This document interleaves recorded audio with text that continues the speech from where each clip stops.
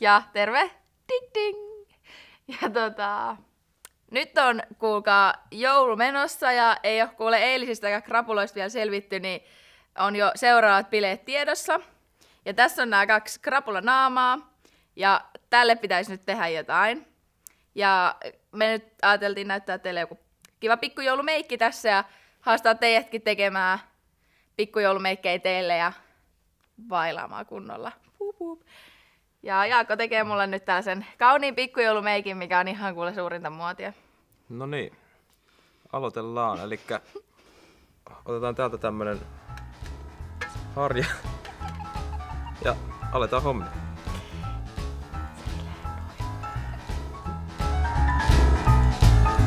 Niin, aivan. Siis tota, kyllä mä näitä on aikaisemminkin käyttänyt, mutta tota, kunhan testasin vaan. Mm. Okei. Okay. Uh, sitten seuraavaksi, tässä oli näitä luomivärejä. Mm. Niin tähän alle, noin, joo. Mikä on alle? Ei sinne vaan Aivan, siis ylle, joo. Joo, ylle, ylle. Noin.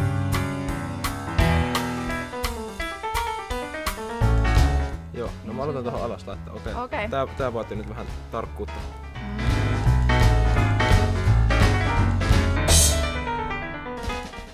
Vitsi, mä voin kuvitella, niinku, että tytöt tekee niinku melkein joka päivä tätä. Niinpä. No nyt se näkyy, joo. Nyt se on joo, vähän paksumpi. Hyvä. Mä en kumminkin halua, niinku, mä haluan kumminkin erottua siis massasta, että niinku, kumminkin sellainen, että joo, no kaikki kyllä. on sit wow ainakin massasta erottuu kyllä tällä luukilla ihan hyvin. Joo. Tätä voisi laittaa, mä nyt keskityn noihin silmiin, niin laitan kerralla kaikki. Mä en tiedä, mun pää menee kukaan taaksepäin. niinku... Se... Sulla on siis jonkinlainen itsesuojeluvaisto. Joo, ehdottomasti. Hetki hetkeltä mä näytän vaan paremmalta. Voisi huulipunaa laittaa vaikka seuraavaksi. Mm. Tää taas olla semmonen ihan... Oho. Joo, se on tosi hyvä. Onko tää huulipuna siis? Joo, se on tällainen huulikiltopuna, että se näyttää kyllä ihan hyvältä tollanen Okei, okay, no huulikiltopuna. Laitetaan tätä vaikka seuraavaksi. Niin. Joo.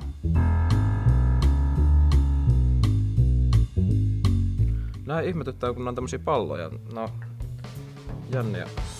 Näinkö sun noita? Joo. Joo. Joo. Pitäisikö sunkin alkaa puuteraamaan sun nenä?